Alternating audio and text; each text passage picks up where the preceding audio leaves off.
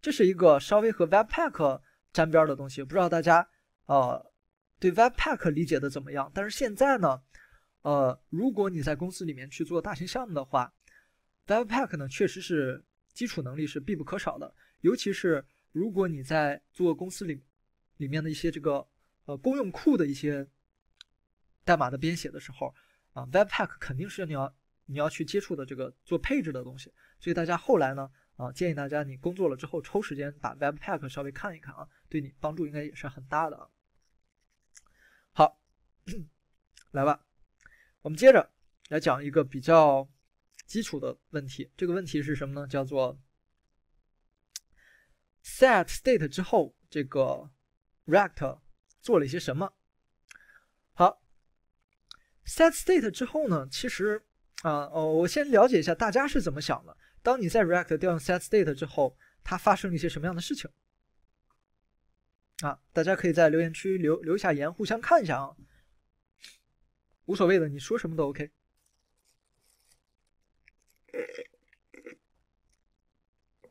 啊，好，对，呃，OK OK，那。呃，其实这个越过山丘同学答的这个其实是比较标准的，叫叫做调和的一个过程。那翻译成英文叫 reconcile，啊，reconcile 这样的一个东西。其实当我一般在面试的时候问到 set state 的时候，我就直白一点说，不扯那些没用的了啊。我会这么去问，我说 set state 你一般怎么用？传一个什么进去？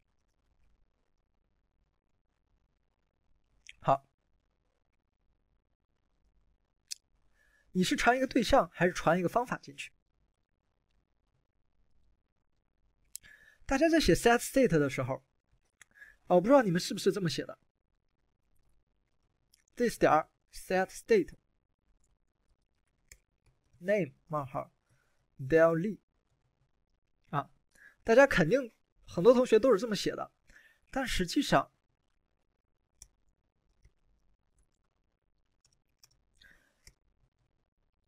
最标准的官方推荐的写法是这样的一个写法。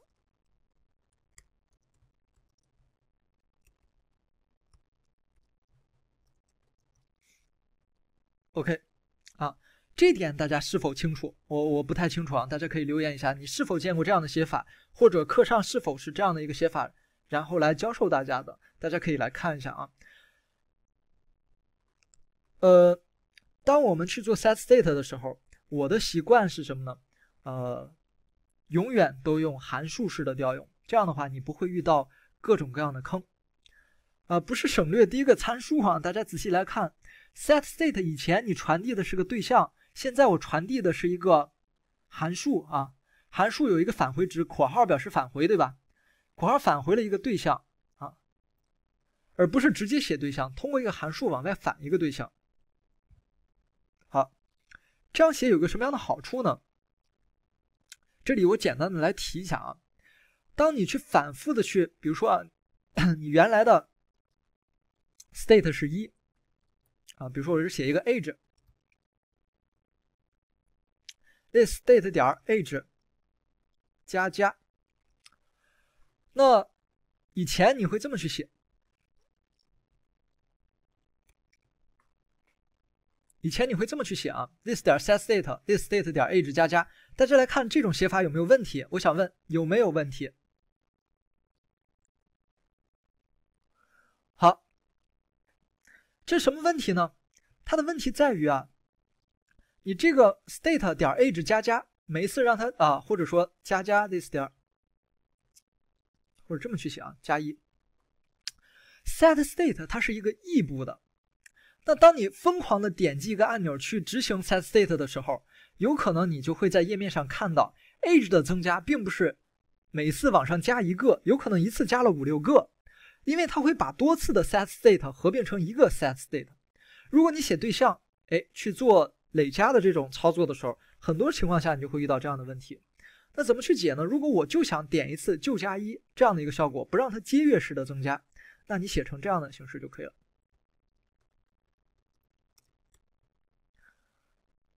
Age 好其实它有一个参数叫做 prev state，加加 prev state 点 h，这么去写，你不管你疯狂怎么去点，那个数字都是一个一个往上增的。所以呢，它可以有效的避免你遇到编程过程中，哎，任何你想不到的出现这个问题的原因，其实就在这儿啊。所以大家记得。只要你用 set state 养成一个良好的编码习习惯啊，一定把这个这个这个对象改成函数式的这种写法。可能你在公司看到大家都写这个对象，你写成这种写法呢，大家会嘲笑你，哎，这个好蠢啊，好好长啊。这个，但是你会发现，哎，如果他们能那么写，他们就会出坑。但是这么写，永远你都不会遇到坑啊。所以你这么写，养成一个好的编码形式啊，好的编码习惯就好了。，set state 呢，它是异步的，也就是接下来我面试的时候又会问一个问题，我会说啊，比如说我 set state 啊，把 age 加一，然后紧接着我在下面就 this 点 refs 点儿，比如说有一个 input 啊，点儿 value 啊，点 value，好，什么意思呢？我页面上有一个这样的一个 input 框啊，它的 refs 等于。啊，这块其实怎么写才对呢？好，我先写一个简单的吧，叫做 input，它的 value 呢等于 this 点 state 点 age，我简化的一个写法啊。如果我这么去写，然后我点了一下按钮，然后在下面马上去输出 input 点 value，那大家说它输出的是之前的这个。比如说它初始值 age 的初始值是一，那我点击的时候，大家会觉得啊，也就执行完这个，马上执行它，你觉得会输出一还是输出二呀？好，输出的肯定是一。那解决这个问题该怎么解呢？啊，能回答出一，OK，那么你基础我认为是 OK 的。箭头函数，sure。其实啊啊，我记得应该是，难道不是 set state 有第二个函数吗？回调函数吗？也就是当你的 state 更新完成之后，会走第二个回调函数，在回调函数里面，你再去获得这个 value，value 的值就应该是二了，是这样的，对吧？好，这种问题，我想呢。Set timeout 非常蠢的一个行为。如果我见到在公司里面谁写了这段代码，好，我会毫不犹豫的直接找出去谈话的啊。所以你千万不要用 set timeout。好啊，我不做过多的评论了啊。但是以后千万不要这么写就好了。你你如果在公司里面遇到一个靠谱的工程师，看到你这么写会打死你的。好，那么类比的来看啊，顺便提一点 view 吧。view 里面解决这个问题是怎么解的呢？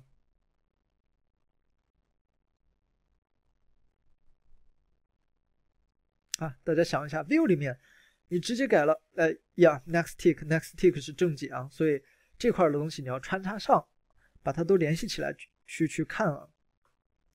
好，说到这儿啊，我知道大家找工作的时候，可能你也不知道，哎，你你现在倾向于是 view react 都去看啊，呃，当然我是建议大家你可以有倾向性的去看，因为往往在一个公司里面，如果他用 react，它整个技术栈都会是 react；如果他用 view 呢，都会用 view。如果 React 和 Vue 你都看，可能样样都懂一点，都不是很精，所以大家学习的时候要有点重点。如果你偏向于 Vue 的话，那么你 React 稍微懂一些就 OK 了，把重点挪到 Vue 去。如果你对 React 感兴趣呢，你多一些精力到 React 上面，Vue 呢有一些复杂的源码级别的东西啊，或者原理级别的东西啊，可以稍微放一放。另外，我对这两个框架有一些自己的看法啊，当然。以前有同学也问过我说，Vue 和 React 它的前景会怎么样啊？实际上，Vue 呢，它的一个出发点是针对一个小白的用户，也就是如果你不会 Vue，你学 Vue 会非常的简单。但是呢，Vue 你不可否认很多东西呢，它是借鉴自 React 和 Angular 的，而且它一直在借鉴。呃，所以呢，Vue 其实自身的一些创意性的东西，包括对电代码的这种编写的。颠覆性的东西呢，并不是特别的多，啊，并不是特别的多，所以如果你单纯的开发一些应用啊，从简单性考虑来说，Vue 可以是一个最好的选择，尤其是你初入职场搞 Vue，你的压力会小一些。但是往后去发展，如果你想了解整个业界最先进的一些思思想啊，跟着业界最先进的这些东西去走啊，我觉得 React 这个社区里面的东西，相对 Vue 社区里的东西还要更新一些。比如说，你看前两天 React 出了 Hook 这个东西，不知道大家自己有没有了解 React 十六点七啊？现在是在 Beta 版本里面有这个 Hook，十六点二呃十六点六几六的这个。十六点六的这个 beta 版本里面有 hook 这个东西，那十六点七呢会正式的放出来，那它呢就完全颠覆了之前函数式编程里面就就什么呢？就函数组件里面不能有 state 这样的一个呃问题。大家知道，如果你写一个呃 functional component，也就是函数式组件，对吧？啊，函数式组件大家知道吧？在函数式组件里面只能接收 props，不知道大家记不记得 function。啊，这里只能接一个 props，然后呢，里面要 return 一个 JSX，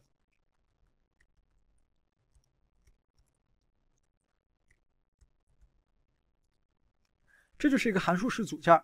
这里面呢是不可能有 state 的，但是在呃 React 新的这个版本里面，它出了 hook 这个东西，你就可以直接在里面去写 state 了。它可以让我们面向以前是面向生命周期函数编程，现在回归到。面向这个业务流程来编程，所以它是一个非常先进的一个想法啊。但你会发现，React 先提出来它，然后呢，过几天 Vue 呢反应过来，哎，这个不错，然后呢，Vue 呢要仿照 React 把它再融合到 Vue 里面去。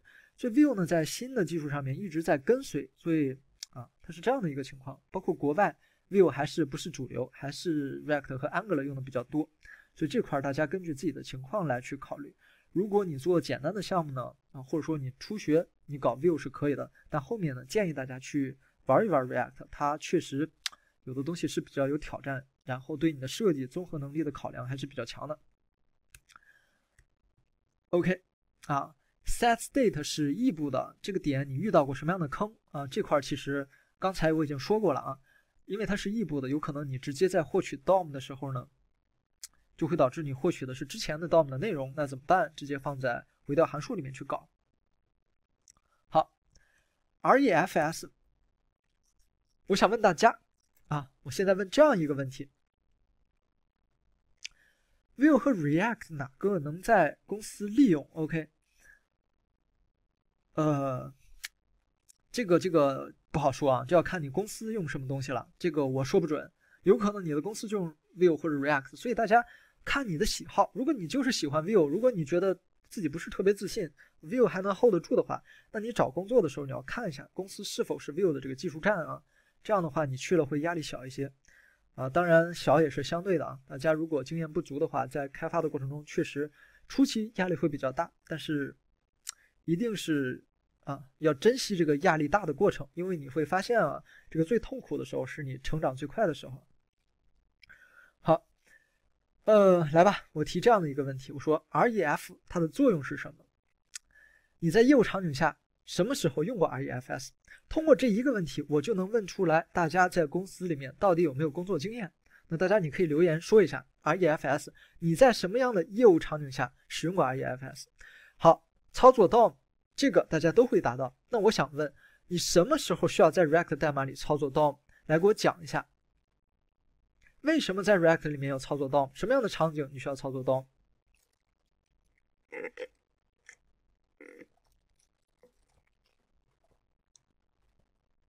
你要举一个例子出来。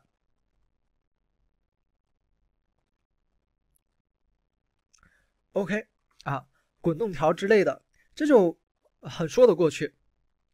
什么呢？比如说呀，我点一个按钮，我想让滚动条滚动到最上面。这你怎么做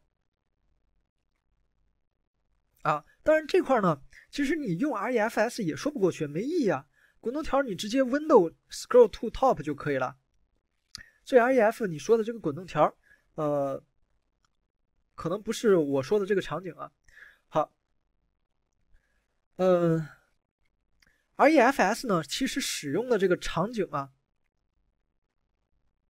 有这么几个。比如说呢，我渲染了一个图片，我想呢是，这个图片展示完之后呢，获取到这个图片的宽和高，好你有没有办法直接获取到这个图片的宽高啊？你通过 React 你怎么获取图片的宽高呢？它不能操作 DOM 的。如果你有这样的一个需求，比如说我就是图片渲染好了之后，我要获取到图片的宽高。比如说你做这个放大镜的功能的时候，在 React 里面你要实现放大镜，你就会发现你肯定要用 refs，因为你要去获取图片的宽高之类的东西。这个时候呢，就是 refs 的一些应用场景。你呢可以了解的不是很多，因为这个东西啊，你用完了也就忘了。但是我建议大家准备几个，因为什么呢？比如说你说父子组件传值，你在公司里面如果使用 refs 传值，我觉得太不靠谱了。可能你自己写一些小的 demo 的时候，你父子组件用 refs，这倒是情有可原。但真正的项目里面，你肯定是用 props 这些东西传值，你 refs 直接去调用方法的话，还是有问题的啊。那说明你设计还不是足够的合理。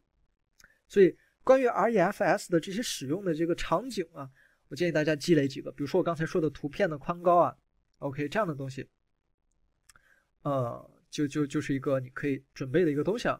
然后回过头来说到这儿啊，我想到了一个点。好，我写一个代码，这是一道代码题。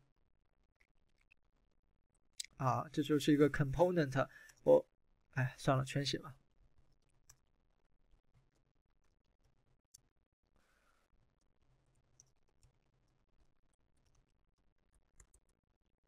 OK。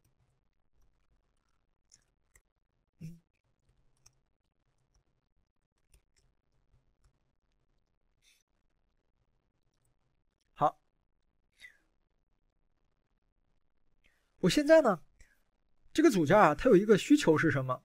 当页面滚动的时候，我需要监听这个页面的滚动的一个事件。这块怎么做呢？你可以这样去写：component did mount。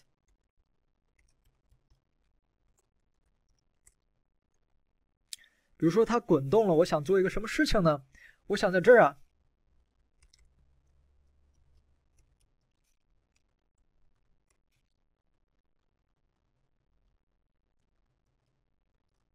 好大家可以看啊，你如果在 React 里面用 state 或者 props 这种形式，每一次你都要写这个 constructor，很烦人。但是如果你用 Redux 的话，直接 connect 就完事儿了。好，这里呢，我写一个 top 是零。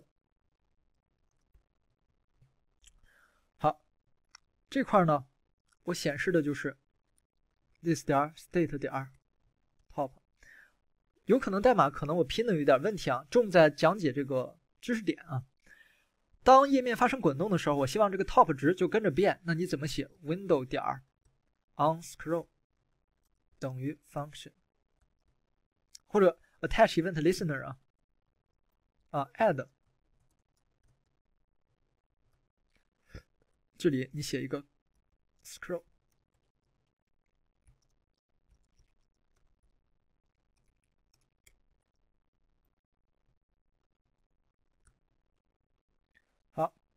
然后呢，this 点 set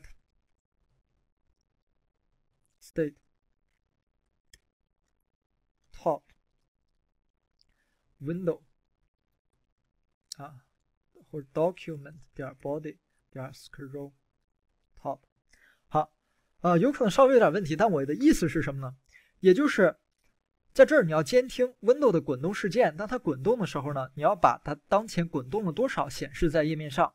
我就问大家，如果在一个组件里，我这么去写代码，有没有问题？它的问题在哪？好，同学们去想一下，有没有问题？它的问题在哪？我给你看一下我的代码，啊，不要语法上可能会有问题啊，大家不要去啊计较这个语法上的问题。我是从组件的角度来讲啊，这么去写就写完了吗？你在公司里面肯定是要写这样的代码的。这么去写代码写的对不对？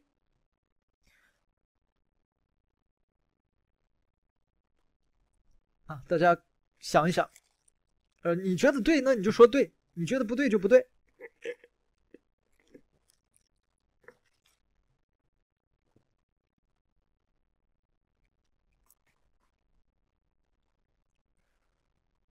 OK，Paul 觉得没问题，看起来确实是没问题了，真的是没问题了。那其他同学有没有一样的想法？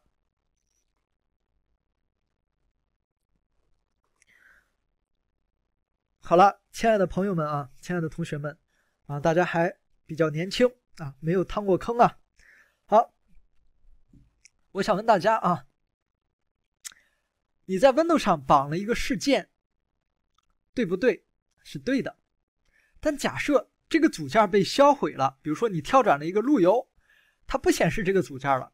我想问大家，Windows 上的这个事件还存不存在？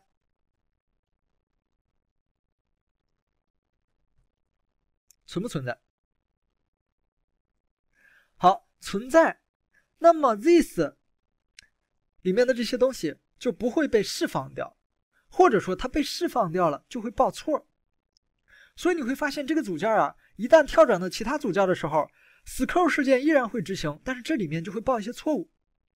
你呢还到处去找到另一个组件里去，觉得哎哎，怎么这块这个组件我写刚写没有什么错误啊？就几行代码怎么会报错啊？实际上它错误在这个组件里产生的，因为这个组件销毁的时候，它没有销毁掉挂在整个 window 上的事件，所以正确的写法应该怎么写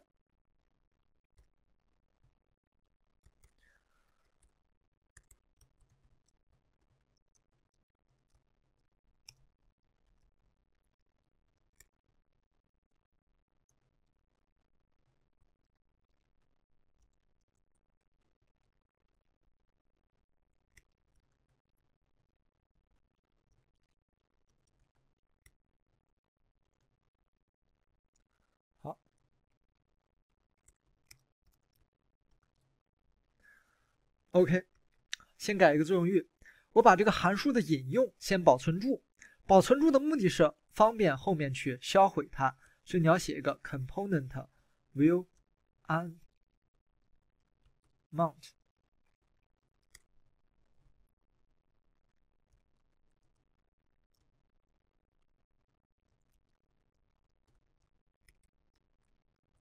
remove event listener，在组件销毁的时候，一定记得你在全局上绑定的任何事件，包括在 DOM 上绑定的任何事件，自己记得把它清除掉，这样才是一个正确的写法。好，啊，呃，希望大家能够理解啊。OK，然后呢，哦，行，九点半了，这样的话，大家呢可以先歇五分钟啊，我后面再给大家补五分钟，大家可以喝口水啊，然后。呃，互相讨论一下。如果你在你身边有其他的同学的话，好，我把代码呢先给大家再展示一下。呃，三十五，我们继续来上课，所以大家先休五分钟啊。